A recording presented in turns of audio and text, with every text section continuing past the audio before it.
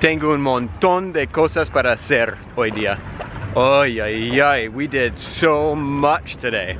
It was, well, you'll see.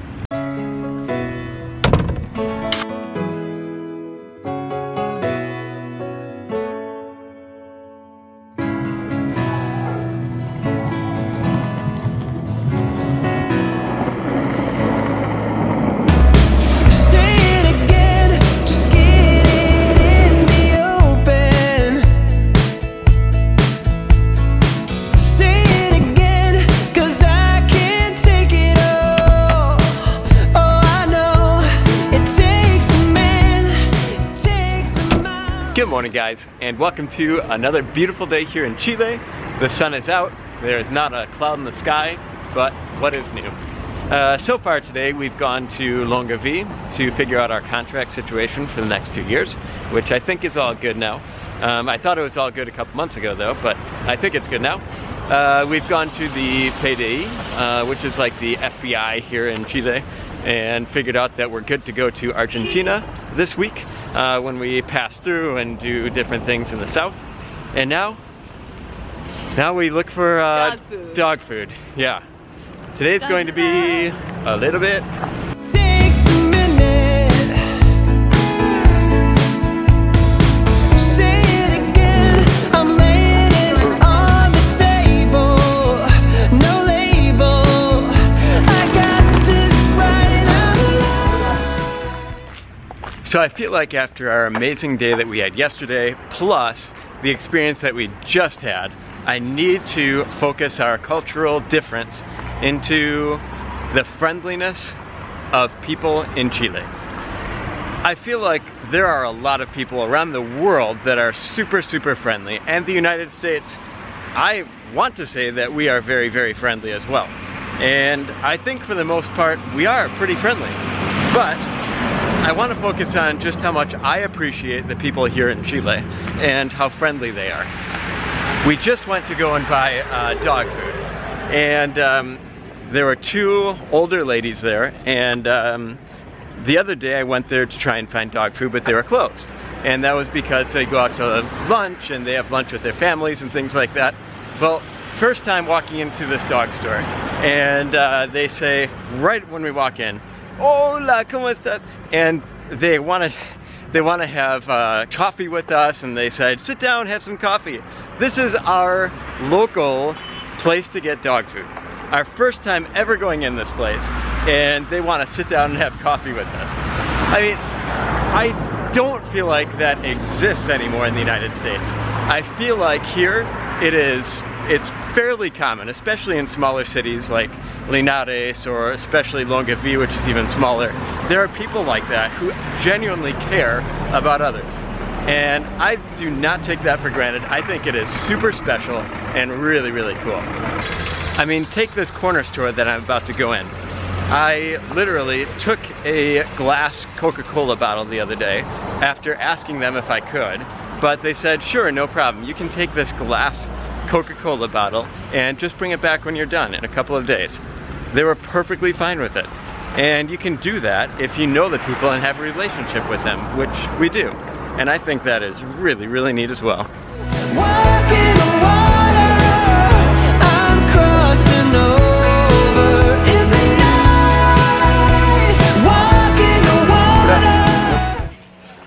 Also, when you walk into the corner store, they say, hello, how are you, neighbor? Like, that's so cool to me. I never really thought that um, that existed anymore, that you'd still be called neighbor by a local corner store. Um, but I never thought these local corner stores existed until I got to Chile. They just don't exist anymore in the United States. And uh, it's a cool way to build other relationships within the community because, well, your neighbors are always at that little corner store buying things, along with those corner stores basically are your neighbors because they're right next to your house because there are so many of them. And it's really, really neat.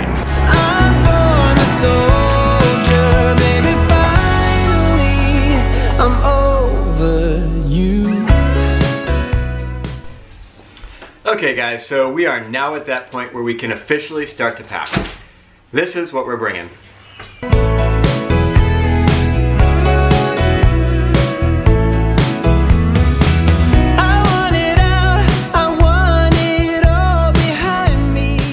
So the nice thing about traveling with friends is that they have some of the stuff and then we have the other stuff and we've coordinated with them who has what.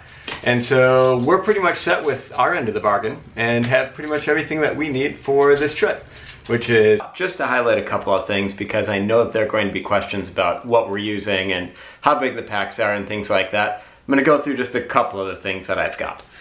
But this is my backpack.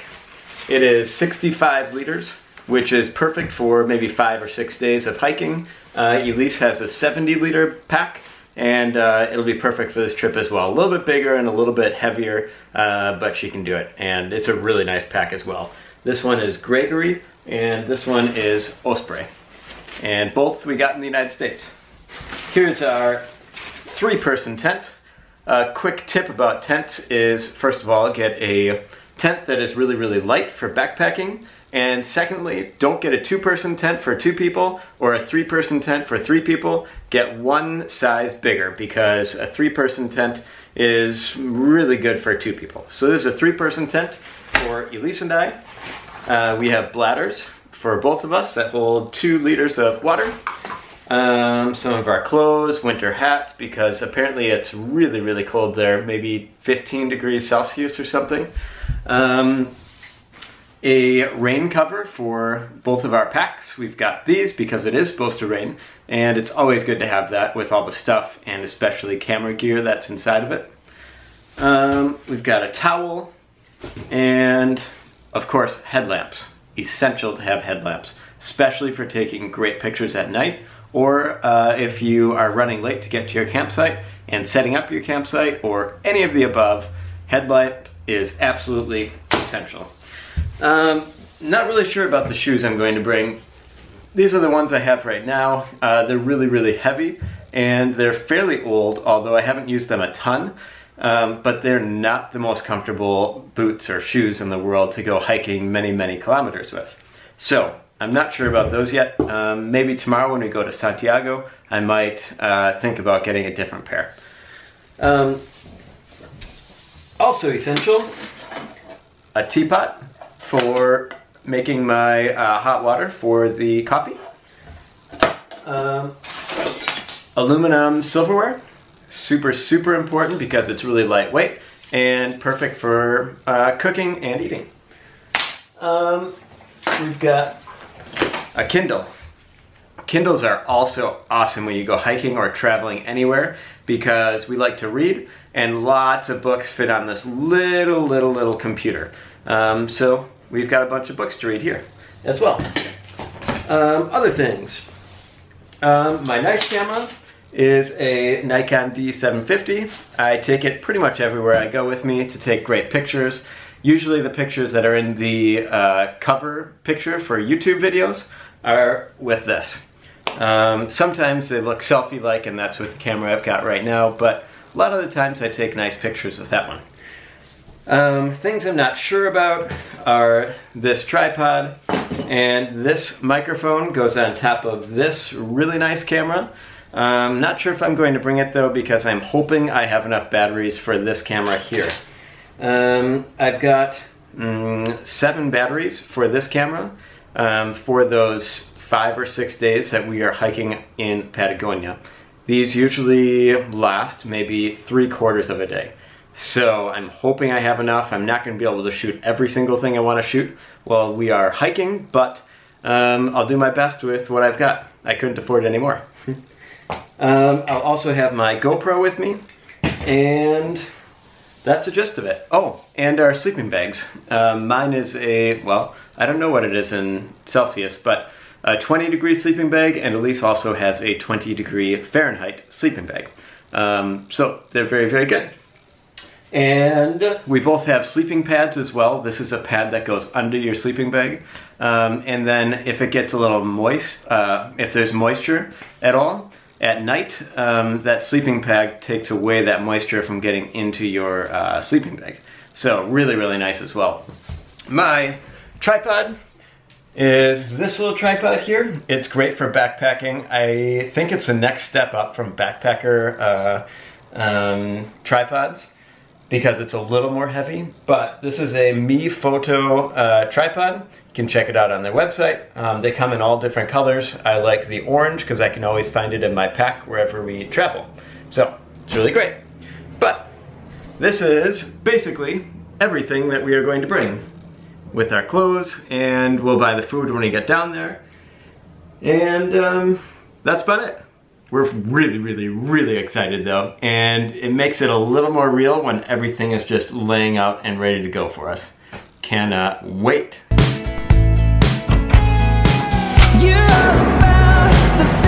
Okay, so that may have taken a little longer than I was expecting to explain all of the gear that I have for Patagonia, but I'm just so excited.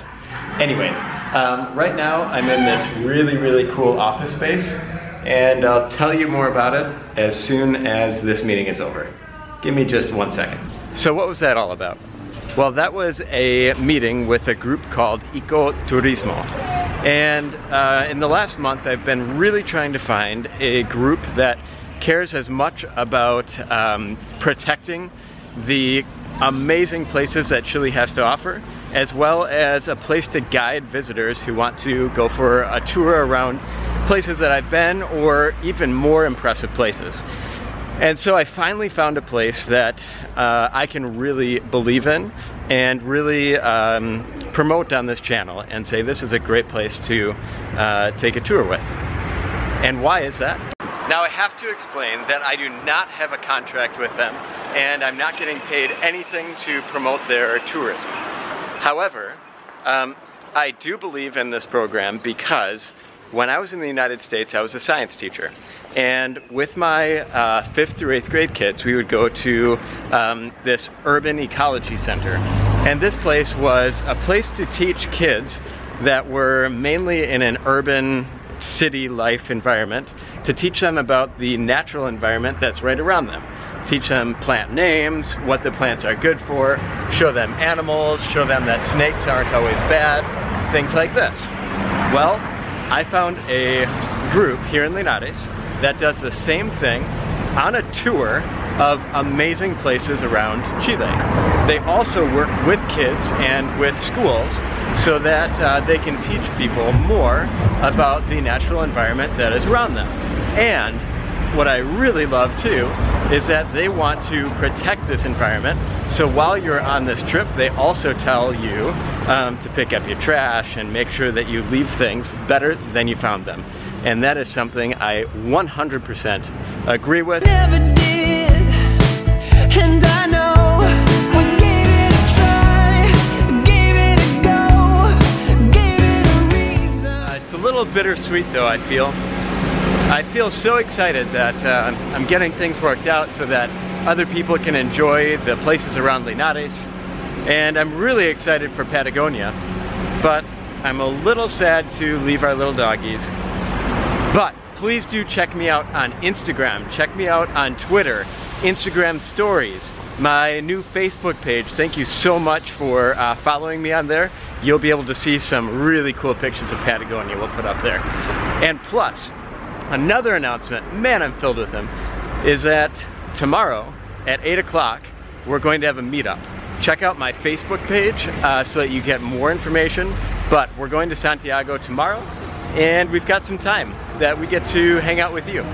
So, the shout out for today. So I feel like every day is a special shout out. However, today is a really, really cool special shout out because I got an email today from Evelyn's mom and she said that Evelyn has been working on these pictures of how you end your vlog every day. And she has two pictures that are absolutely awesome of Elise and I. And we really, really, really appreciate that. Thank you for taking the time, Evelyn. And uh, thanks for watching these vlogs. They live in the United States and they watch these vlogs, they say, every single day to learn more about Chile. How cool. Thank you so, so much. Anyways, guys, Today was kind of a crazy day with a lot going on. Uh, that happens before a trip. But Elise and I want to say goodbye for two weeks. We will be gone exploring and having fun down south and we cannot wait to show you the video from Patagonia. But videos the from videos Patagonia. from Patagonia. But it's a little sad. we'll see you guys in two weeks. Oh. But for now, Ciao. ciao.